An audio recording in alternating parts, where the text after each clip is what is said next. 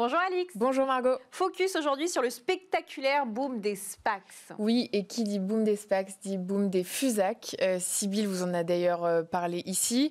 L'année 2021 marque le plus fort démarrage en termes de fusion-acquisition depuis 1980. Le tout sur fond de crise et de confinement à répétition.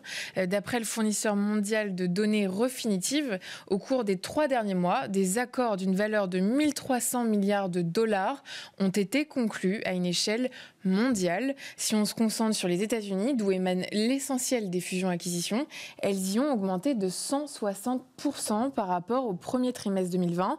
D'après Carrie Corman, le co-directeur des fusions euh, et acquisitions mondiales chez City, ce rebond est tout simplement sans précédent. Et quels sont les effets de ce boom, Alix? Eh bien, ça fait le bonheur des banques d'investissement. Elles connaissent leur meilleur trimestre depuis au moins 20 ans. Cet essor représente pour elles aujourd'hui plus de 37 milliards de dollars de taux de frais. Or, plusieurs des transactions les plus importantes sont corrélées à des SPAC. Aux États-Unis, elles représentent 172 milliards de dollars, soit un quart de la valeur totale des FUSAC aux US. D'ailleurs, le deal le plus important à ce jour est lié à une SPAC. Il a été conclu en février lorsque Lucid Motors, le rival de Tesla, a déclaré qu'il deviendrait public dans le cadre d'une fusion de 24 milliards de dollars avec une SPAC donc contrôlée par euh, Michael Klein. On peut parler euh, d'un vrai phénomène SPAC oui, et les chiffres en témoignent. Ce sont les données euh, du Fonds général Catalyst. 513 milliards de dollars, c'est le montant disponible sur le marché des SPAC pour fusionner avec les entreprises. La tech euh, est un secteur particulièrement attractif pour les SPAC puisque 298 d'entre elles y sont dédiées, en sachant que le nombre total de SPAC pourrait atteindre les 800 pour l'année 2021.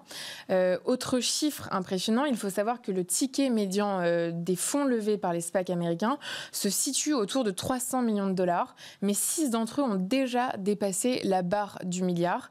Euh, les SPAC sont clairement l'obsession du moment, mais c'est difficile de savoir si euh, ils resteront cantonnés euh, à un phénomène ou s'ils vont s'ancrer durablement. Merci beaucoup, Alix Nguyen. Et dans le reste de l'actualité boursière, le Conseil de surveillance de la stabilité financière se réunit pour la première fois sous l'ère Biden. Janet Yellen veut faire la lumière sur les risques que font peser les hedge funds. L'effondrement du fonds spéculatif Archegos Capital Management était au cœur des discussions. Selon CNBC, la secrétaire au Trésor aurait déjà établi un programme agressif de réforme du système financier. She has an aggressive agenda and she will also look at the risk to the system posed by climate change.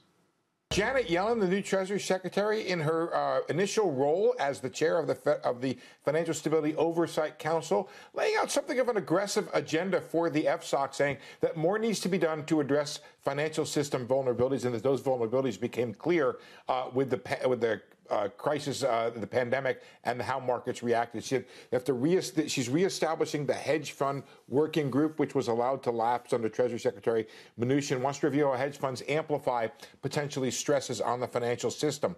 FSOC will look at vulnerabilities from non-bank financial companies as well. It will look at open-ended mutual funds, which offer investments. She said uh, her concern was that it has with greater liquidity than their underlying assets. Add to that money market funds as well. FSOC will review disruption of the Treasury market last spring, including the reduction of the liquidity supply by dealers in trading firms. Finally, we'll review emerging risks of climate change. Yellen saying that climate change, quote, poses tremendous risks to our country's stability. And she cites other issues they'll be looking at cybersecurity, the growing role of digital assets as a, a, potential risk to the financial system. So, Sarah Janet Yellen, as you might have expected, uh, they meet quarterly. Who knows? They may begin meeting more often at, at the FSOC uh, with Janet Yellen uh, laying out something of an aggressive agenda for, for the group. Et tout de suite, que c'est la je vous présente Unexpected.